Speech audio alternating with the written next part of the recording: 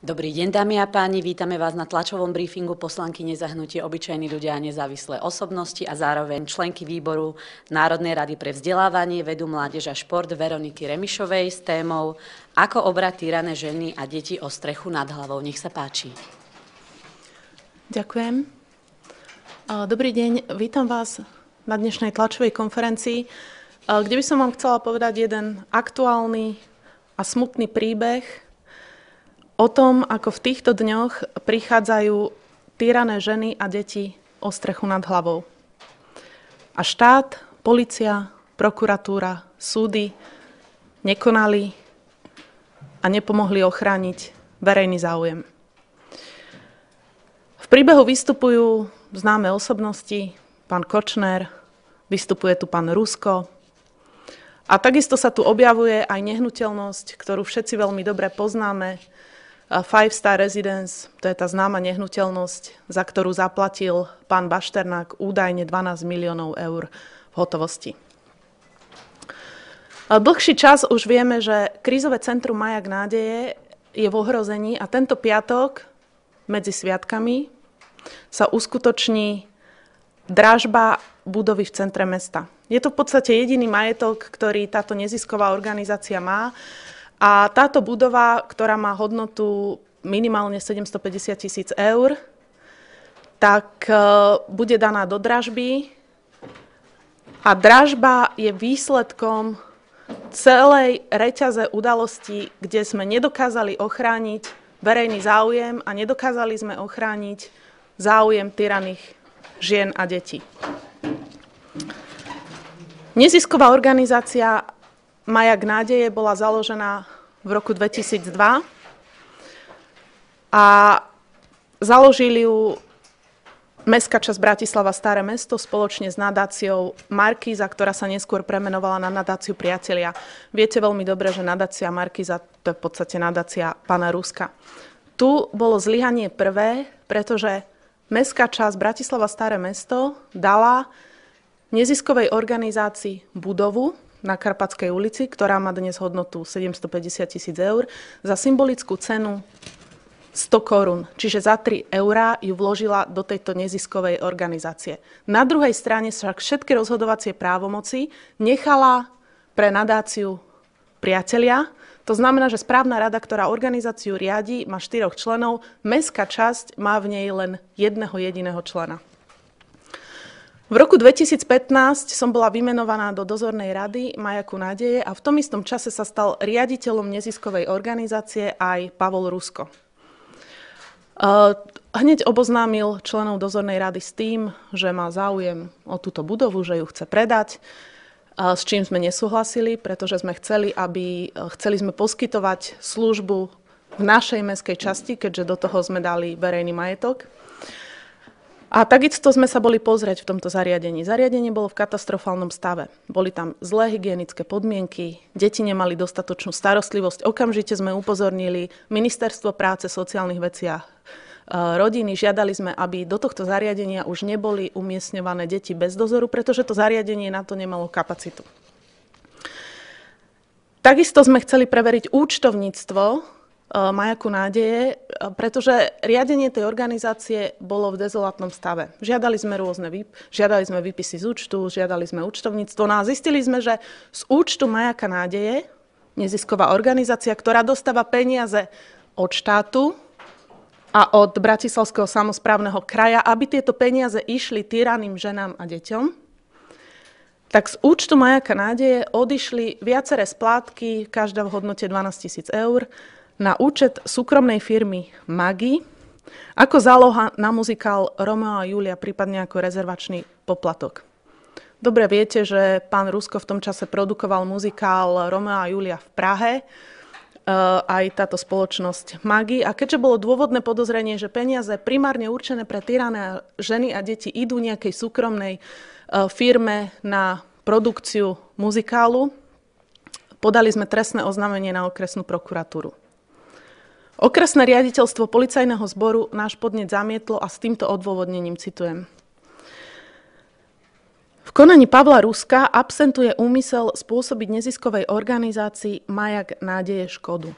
Čiže Za peniaze pre týrané ženy a deti nakúpite si listky na muzikál, ktorý vy sám produkujete, ale všetko je v poriadku, pretože vyšetrovateľ povie, že sa nepodarilo dokázať úmysel, že vlastne kúpou lístku, lístkov ste chceli len pre tú organizáciu zarobiť. Pripomínam, že Majak nádeje není organizácia, ktorá by mala v predmete činnosti nejaké obchodovanie alebo kupovanie lístkov. Je to nezisková organizácia, ktorá má pomáhať týraným ženám a deťom. Takisto presne pred rokom, keďže sme videli, že e, nadácia priatelia nie je serióznym partnerom, sme žiadali sme podali žalobu a žiadali sme o likvidáciu neziskovej organizácie. Túto službu sme následne chceli poskytovať v našej vlastnej réžii ako mestská časť. Od dňa podania pred rokom nedošlo zo strany súdu k žiadnemu kroku, ktorý by smeroval k vyriešeniu veci. Spoločne s touto žalobou sme podali aj návrh na vydanie predbežného opatrenia, ktorým by súd zakázal nakladať s nehnuteľnosťami, teda s tým jediným majetkom, ktoré nezisková organizácia má s budovou, pretože sme mali podozrenie a sám Pavol Rusko to deklaroval, že chce budovu predať. Ďalšie zlyhanie zo strany súdu. Okresný súd síce predbežné opatrenie potvrdil, krajský súd predbežné opatrenie zrušil a s takýmto odôvodnením. Neexistuje vraj reálne nebezpečenstvo vo vzťahu k nehnuteľnostiam, pre ktoré by bolo potrebné predbežné opatrenie vydať. Dnes je táto nehnuteľnosť vinou nakladania Pavla Ruska exekúcií a situácia, za ktorej k tomuto došlo, by mohla byť učebnicovým príkladom pre podvodníkov. A teraz, ako sa stalo, že táto budova je v exekúcii? Čiže súd nám zrušil predbežné opatrenie, Pavol Rusko mohol nakladať s budovou, čo hneď aj urobil. A akým spôsobom? V decembri 2015 uzavrel zmluvu o pôžičke so spoločnosťou Mariana Kočnera vo výške 100 tisíc eur. Požičal si peniaze, hoci ako riaditeľ si môže požičavať peniaze len do výšky 50 tisíc korún, čiže nejakých 1300 eur, pokiaľ mu to neschváli správna rada. Správna rada mu to nemohla schváliť, pretože správnu radu zvoláva predsednička a predsedničkou je tá jediná zástupkynia Mestskej časti Bratislava Staré mesto. V tom istom čase uzatvoril druhú zmluvu s ďalšou firmou pána Kočnera a uzatvoril zmluvu o budúcej zámennej zmluve, ktorej predmetom mala byť vzájomná zámena nehnuteľnosti Majaka nádeje, čiže budovy na Karpatskej ulici, za nehnuteľnosti v bytovom komplexe Five Star Residence. Five Star Residence, budova, kde pán Bašternák zaplatil dva, za, za 7 bytov 12 miliónov eur hotovosti, najluxusnejšia bytovka v Bratislave, a teraz nechávam na posluchačov, aby sami posudili dôveryhodnosť zámeru, že týrané ženy a deti ubytujeme v najluxusnejšej bytovke v celej Bratislave. Čiže bola uzavretá len zmluva o zámene, že sa tieto dve nehnuteľnosti zámenia. Čo sa stalo potom? Tento záväzok bol neskôr dohodou o novácii zmenený na povinnosť Majaka nádeje zaplatiť sumu 500 tisíc eur. Čiže k žiadnej zámene nedošlo, nič sa nezamenilo, žiadna škoda pánu Kočnerovi nevznikla, ale len za to, že sa zámena neuskutočnila, tak zrazu Majak nádeje, nezisková organizácia, ktorá poskytuje útočisko nad hlavou týraným ženám a deťom, tak zrazu pánu Kočnerovi dlží 500 tisíc eur. Len za to, že sa neuskutočnila zámena týchto dvoch nehnuteľností. Ja nepoznám zákernejší spôsob, ako niekoho obrať o peniaze, o, o, o peniaze a o strechu nad hlavou. Čiže Majak nádeje už nedlží 100 tisíc eur, ktoré si údajne Pavol Rusko požičal, už dlží 100 tisíc plus 500 tisíc, 600 tisíc eur. Majak nádeje, ten má rozpočet pre ženy možno okolo 150 tisíc eur alebo 200 tisíc eur. Čiže táto suma ďaleko presahuje akékoľvek finančné možnosti. Čo sa však stalo potom? Následne vznikla spoločnosť Vigitrade. Bezvýznamná malá spoločnosť, bola založená pár dní po tejto prefikanej zámene a po, po týchto zmluvách. A len 6 dní na to, ako vznikla, zmluvami o postúpení pohľadávok na seba táto spoločnosť, ktorá práve vznikla, prevzala pohľadávku 100 tisíc eur aj pohľadávku 500 tisíc eur. Čiže Majak nádeje, nezisková organizácia, dlží tejto novovzniknutej spoločnosti Vigitrade zrazu jej dlží 600 tisíc eur. Za akých okolností a či vôbec došlo k odplate, či vôbec tie peniaze, aj tá prvá pôžička tých 100 tisíc eur, či vôbec ju Majak nádeje dostal, od to nemôžeme skontrolovať. Domnievame sa však, že ide len o fiktívne právne vzťahy. Zlyhania pokračujú. O mesiac na to pán Rusko spísal notárskú zápisnicu o uznaní dlhu vo výške 600 tisíc eur. Táto notárska sú, tento právny úkon urobil bez súhlasu právnej rady, čo nemohol urobiť. A podpísal aj súhlas s výkonom exekúcie v prospech spoločnosti Vigitrade. Na základe tejto notárskej zápisnice Vigitrade dala podnet exekútorovi na vykonanie exekúcie exekučným titulom je notárska zápisnica. A prichádzame k dražbe, kedy je vyhlásená dražba na jediný, jediný majetok, ktorý nezisková organizácia má a budova ide do dražby. E, samozrejme, okamžite sme sa snažili zastaviť toto konanie, o ktorom sme presvedčení od začiatku, že je protiprávne, pretože Pavol Rusko tieto kroky urobiť nemohol. A Žiadali sme a mestská časť, aby sme sa stali účastníkmi konania. E, podali sme podanie na okresný súd, ktorý vydal poverenie na vykonanie exekúcie, kde sme sa ho snažili upozorniť na protiprávne kroky v súvislosti s konaním majaku nádeje. Súd však konštatoval jedinú vec, že exekučný titul je formálne v poriadku, ostatnými záležitostiami sa vôbec nezaoberal. Išiel list príslušnej exekutorke, ktorá exekúciu robí. Upozornili sme ju na všetky kroky, ku ktorým došlo. Exekútorka len oznámila, že však mestská časť je účastníkom konania. Vybavené. Podali sme podanie na okresnú prokuratúru Bratislava 1, kde sme žiadali, aby prokuratúra, keďže mestská časť nie je účastníkom konania, aby prokuratúra vstúpila do konania a chránila verejný záujem. Prokuratúra odpovedala, že na vstup do konania nevidí možnosť.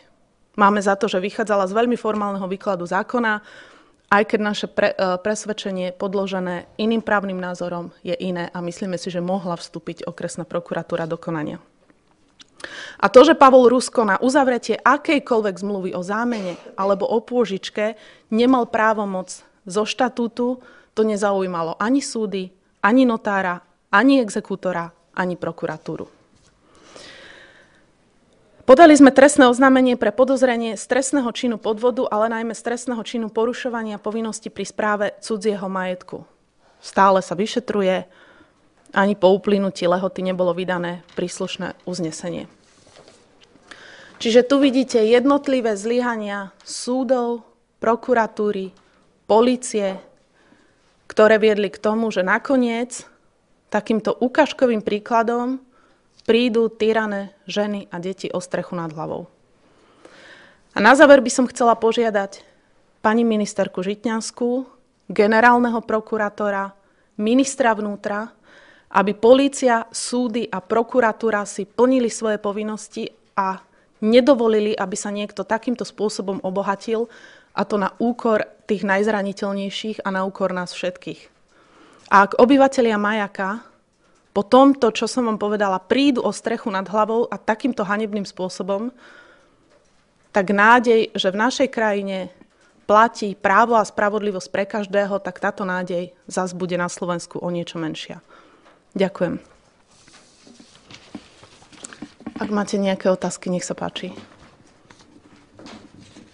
Dobrý deň, Jana Krestanko, Dýbáková televízia. Joj, pani Remišová, máte informácie o tom, že by si to niektorý z aktérov tejto kauzy doslova vybavil? Vieme, aké sú vzťahy, vplyvy, treba z okresná prokuratúra. Máte tieto informácie alebo nie? Ja sa neodvážim o tom špekulovať. E, všetky kroky, ktoré boli. My sme urobili všetko, čo sa dalo. Už nevidím zo strany mestskej časti, čo viac sme mohli urobiť, aby sme zabránili tomuto kroku. A je, áno, je divné, že súd krajský súd rozhodol tak, ako rozhodol, že zrušil predbežné opatrenie, že policia naše, e, naše podanie odmietla, aj ako sa zachovala prokuratúra, áno. Ale neodvážim sa špekulovať o tom, či si to niekto dokázal vybaviť alebo nie. A ak ešte dovolíte, čo bude potom o 18. s tými ženami a s tými deťmi? Je už nejaká informácia o tomto?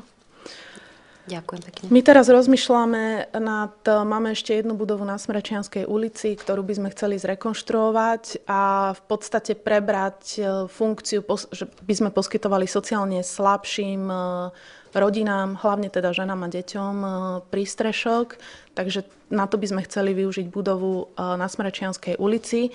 Čo bude s budovou na Karpatskej ulici, nevieme. My sme túto situáciu rozoberali aj na sociálnej komisii, kde sme sa aktívne snažili hľadať náhradné ubytovanie pre obyvateľov Majaku nádeje.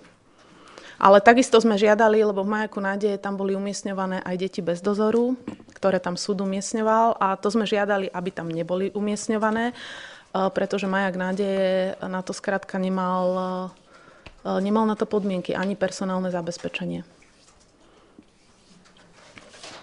Ďakujeme vám veľmi pekne a prajeme pekný deň. Ďakujem pekne.